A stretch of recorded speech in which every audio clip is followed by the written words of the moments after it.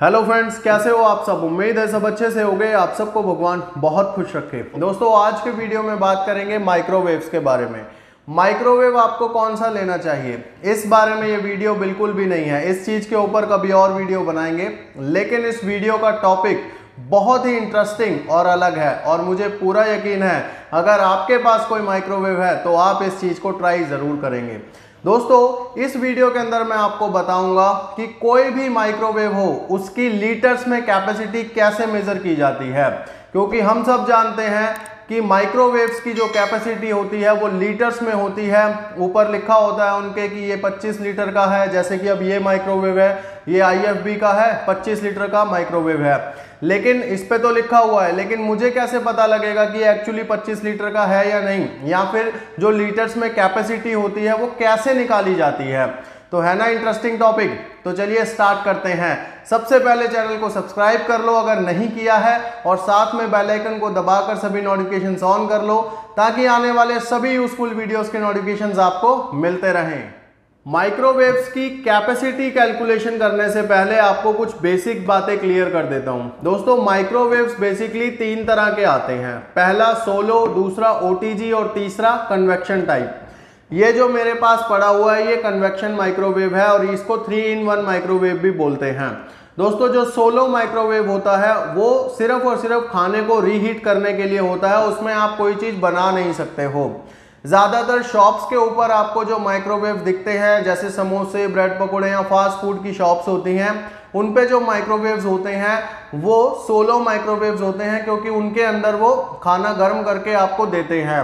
दोस्तों, solo microwave के अंदर एक मैग्नेट्रॉन लगा होता है, जिसकी मदद से माइक्रोवेव जनरेट होती हैं और वो खाने को गर्म करती हैं।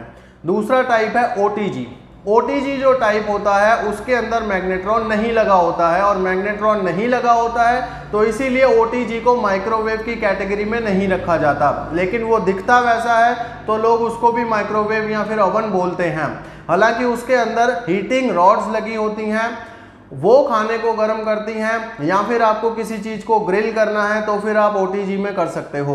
तीसरा टाइप होता है कन्वेक्शन टाइप और यही मोस्ट पॉपुलर टाइप है माइक्रोवेव्स का और ज़्यादातर लोगों के घर में कन्वेक्शन टाइप माइक्रोवेव्स ही यूज़ होते हैं। क्योंकि इसमें आप सोलो माइक्रोवेव की तरह खाना रीहीट भी कर सकते हो ओटीजी की तरह ग्रिलिंग भी कर सकते हो और इसके अंदर आप बेकिंग भी कर सकते हो। बिस्किट्स बना सकते हो केक बना सकते हो पिज़्ज़ाज बना सकते हो, चावल बना सकते हो, सब्ज़ी बना सकते हो, कुछ भी इसके अंदर आप बना सकते हो। तो दोस्तों, ये तो हो गई टाइप्स की बात। अब बात करते हैं कैलकुलेशंस की। जैसे कि ये एक माइक्रोवेव मेरे पास पड़ा है और हो सकता है कि आपके घर में कोई माइक्रोवेव हो तो उसकी लीटर्स में कैपेसिटी हम कैसे निकालें? तो सिंपल सा एक कैलकुलेशन है, फटाफट से आप कर सकते हैं। दोस्तों माइक्रोवेव जो है, उसके अंदर की डायमेंशंस आपको लिख लेनी है। और उसको आपस में गुणा कर देना है। जैसे कि ये मेरे पास माइक्रोवेव है 25 लीटर का।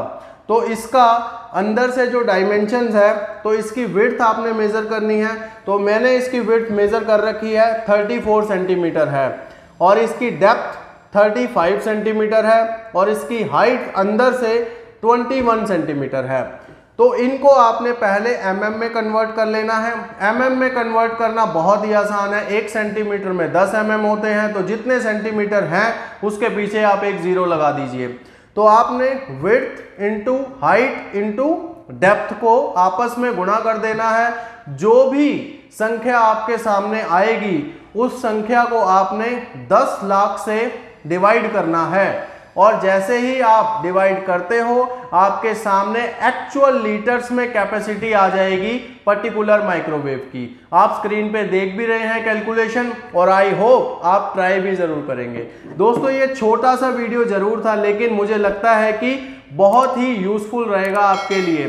तो मैं मिलूँगा आपको किसी नई वीडियो में किसी नए टॉपिक के साथ। तब तक के लिए गॉड ब्लेस यू